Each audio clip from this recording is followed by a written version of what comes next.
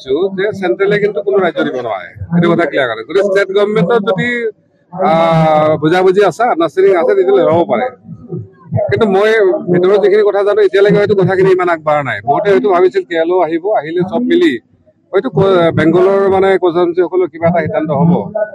ভাবো এইটো খুব ইনিচিয়েল ষ্টেজত আছে তেখেতৰ যিটো কৈছে যে চেন্ট্ৰেলে কৈছেহে কৈছে কাৰণ বিজেপি বহুত চেষ্টা কৰিছিল বেংগলখন লোৱাৰ কাৰণে যদি বিজেপি শাসন থাকিলেহেঁতেন তেতিয়া হয়তো আশা কৰা গ'লহেঁতেন কিন্তু মমতা দিদিৰ সময়ত তেওঁলোকে এইটো কৈছে যে মানে ক- কয় বেংগলৰ এক ইঞ্চি মাটিও তেওঁলোকে এৰি নিদি বুলি কৈছে কিন্তু এটা হয়তো ৰাস্তা ওলাব পাৰে আলোচনাৰ কাৰণে আৰু আমিও বিচাৰো যে কনজাৰ্ভেঞ্চি লোকসকল বিশেষকে বেংগলত যিসকল আছে তেওঁ যথেষ্ট ভুক্তভোগী বিশেষকে ভাৰতবৰ্ষৰ পাৰ্টিশ্যনৰ পিছত বা ছেভেণ্টি ওৱানৰ পিছত যিসকল ৰায়তী আছিল আগৰ ৰজা দিনৰ ৰায়তী আছিল তেওঁলোকে মাটিটো নাপালে হয়তো বেলেগৰ মানুহবিলাকে মাটিটো লৈ ললে এনেকুৱা কিছুমান ইছ্যু আছে তাতে।